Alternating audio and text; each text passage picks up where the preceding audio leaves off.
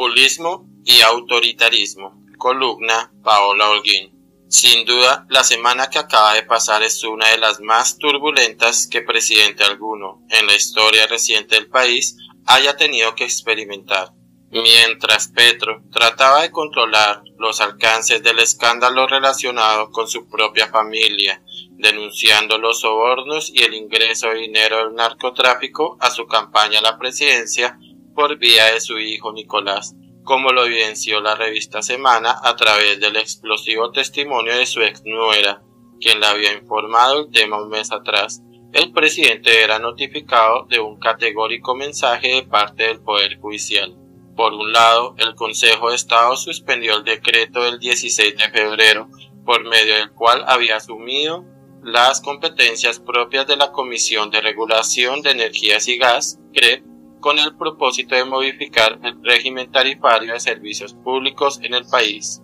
En su momento, la medida hizo cundir el pánico entre los expertos y prestadores de servicios energéticos, debido a que ello conllevaría una gran afectación a la estabilidad del sector, porque en manos de Petro, la fijación de tarifas dejaría de atender criterios estrictamente técnicos y de mercado. No obstante, lo que llama la atención de la decisión del Consejo de Estado, más allá de lo concretamente resuelto, es que en su fundamentación dejó en evidencia que lo que realmente implicaba el decreto de Petro no era otra cosa que un golpe de Estado de derecho. Había cuenta del desconocimiento de los límites constitucionales de su propio cargo, así como de las facultades atribuidas al Congreso de la República. Para el Consejo de Estado, abro comillas, la función de regulación del régimen tarifario de los servicios públicos fue asignada directa y expresamente al legislador en los artículos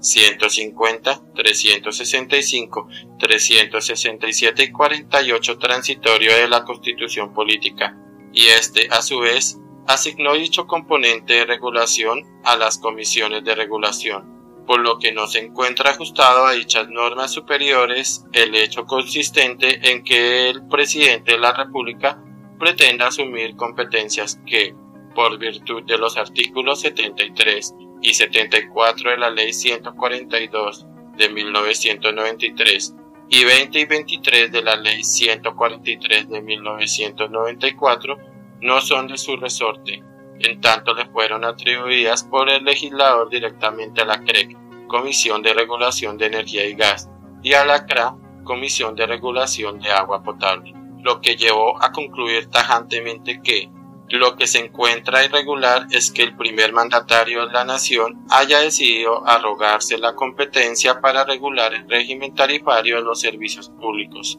rol funcional que, por expresa disposición constitucional, le fue conferido al Congreso de la República, corporación que, en ejercicio de su libertad de configuración legislativa, consideró pertinente asignar el trámite técnico y operativo de la fijación de dichas tarifas a la Comisión de Regulación. Pero por si semejante aterrizada no fuera suficiente, la Corte Constitucional le dio otro durísimo baño de realidad a Petro, muy acostumbrado a saltarse los marcos constitucionales y legales, así como a correr la línea ética. En un viraje de su jurisprudencia, concluyó por unanimidad que, durante el examen de constitucionalidad de las leyes tenía la facultad de suspenderlas provisionalmente como medida cautelar.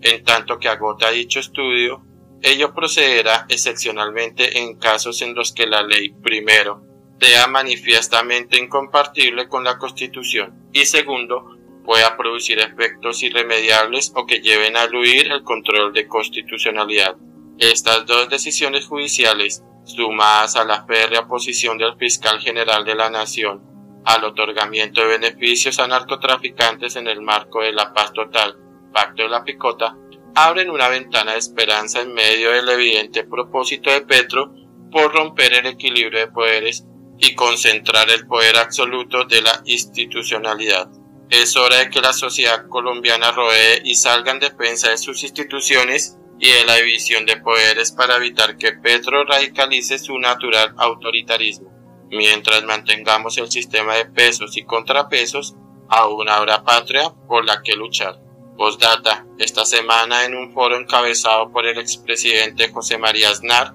Le escuché muchas reflexiones que tendrían validez en Colombia, entre ellas que el populismo se escuda en la voluntad popular, pero la voluntad del pueblo no está por encima de la ley.